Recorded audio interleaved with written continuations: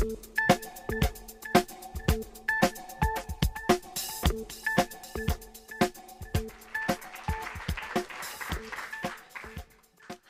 I'm Alix Ohlin. And a few months ago, I received a handwritten letter in the mail from a reader. Now, I was thrilled, of course, as I always am when I hear from readers. I sometimes get emails or Facebook messages, but to have actually moved someone so much that they took the time to sit down and write me a letter by hand, that felt like a real accomplishment. So I was very excited, and I opened it up and I found words to this effect Dear Miss Ohlin, I recently read your novel Inside, and I'd like to know why is your book so depressing? The letter writer went on to list all the unhappy things contained in my novel mental illness, divorce, suicide, genocide, sexual assault, etc. I swear it's not as bleak as it sounds. The letter writer, who was a sweet person, seemed uh, less distraught over the existence of these things in the world than concerned for my own mental health.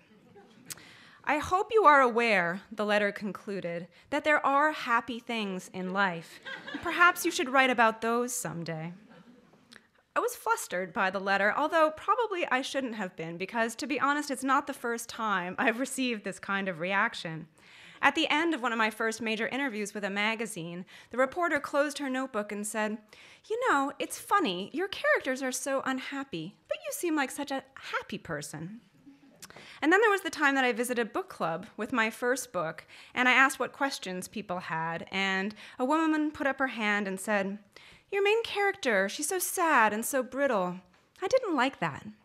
That was her whole question. so at this point, you're probably wondering why I keep writing at all, inflicting these stories on people and getting these kind of responses back.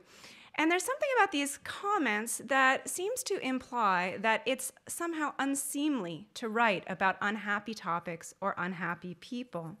It's as though people keep saying to me, What's a nice girl like you doing in a dark place like this? Now, I do take some comfort in the fact that I know that as a writer, I'm not alone in having received these kinds of reactions. I was recently reading about the deluge of letters received by the New Yorker magazine after they published Shirley Jackson's story, The Lottery, which is about a ritual stoning in a small New England town. The magazine was flooded by letters uh, from people who wanted to cancel their subscriptions, although a few people, it must be said, uh, just wanted to know whether such ritual stonings were actually occurring and where they could go to watch them. But the more typical response came from a woman who wrote, I read this story while soaking in the tub, and by the time I got to the end, I wanted to put my head underwater and end it all. now, the lottery is, by definition, an extremely unhappy story, and yet now it is also considered a classic of 20th century literature, notwithstanding that poor woman in the bathtub. So we must find something in these stories that have dark, sad, unhappy places at their core. What is it? What is the point of delving into the lives of unhappy people when all of us have problems of our own?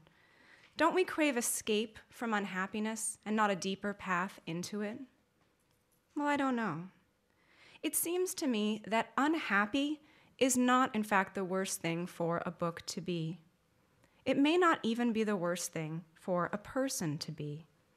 I mean, of course, unhappiness is awful, and I would never mean to downplay the very real cost of some of the terrible things that I've written about. But maybe unhappiness is also important in stories and in our lives because it can serve as an engine for change. It can be the key to self awareness because it compels us to investigate and construct our definition of happiness in the same way that a sick person thinks deeply and longingly about physical health. We tell ourselves stories in order to live, is the way Joan Didion put it, and that means not crafting easy fictions, but making meaning out of the difficult reality of our lives. If we only told happy stories, then those people who are mired in moments of unhappiness will go through life feeling unrecognized and that much more alone. I don't necessarily believe in literature as therapy or as a healing mechanism, but I do believe that stories should be tools of truth. Otherwise, they aren't stories, but pale comforts, and we see through them pretty quickly. In the past few weeks, I've been rereading the work of Alistair MacLeod, and I was struck by a moment in his short story, The Vastness of the Dark, also about a letter. In this story, a young man reads letters written to his father from his grandparents. The grandfather begs his father, who's working far away from home in Idaho at the time, to come home and work with him. You can hear his love for his son and his longing to see him again. But the grandmother sends a short, terse letter to her son that says, Don't listen to him. Don't come home. She wants her son to be happy, and so she tries very brusquely to keep her child away from her, presumably at a cost to herself. It seems harsh for a mother, and yet it's perfectly maternal. All of her love and all of her hope for her son, all of her ideas about happiness and unhappiness are crystallized in that letter that is no more than two or three lines long. It's a very tiny moment, and yet to me, it's very moving. All stories, I think, are like that letter, and for that matter, like the letter that I received. Driven by thoughts about unhappiness, they bring us to the how and why of happiness, and they suppose that it does exist and can be found.